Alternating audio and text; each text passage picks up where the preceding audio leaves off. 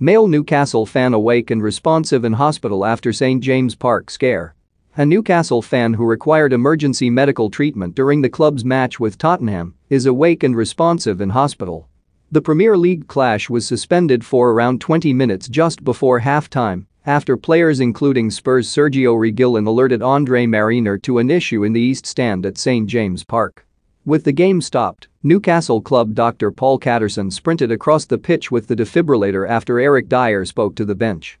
The Northeast Ambulance Service said that the device used to assist the supporter was not the one that was in the dugout, but rather one belonging to the ambulance service within the ground.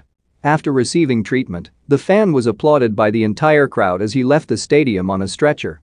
A spokesman for the Northeast Ambulance provided this update. We had a man collapse in the stand next to the touch line. A member of the public started CPR and we had one of our defibrillators on scene within moments. Our staff, supported by St. John's Ambulance, delivered two shocks and successfully resuscitated him. Do you think Steve Bruce should be sacked as Newcastle boss? Let us know your thoughts in the comments section below.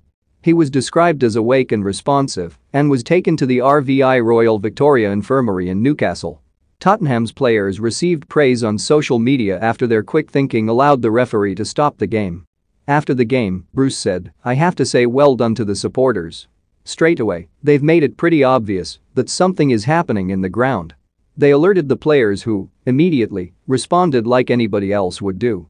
The big thing was apparently we had a defibrillator and specialists over that side of the ground anyway, which has probably saved the man's life, from what we're hearing. I hope that's the case, our thoughts are with his family and him, and that he makes a recovery. All the early indications are that he's going to be okay. That's where football's got to over the last few years. It's terrific that we have the people to save his life and, of course, we've got defibrillators over there for this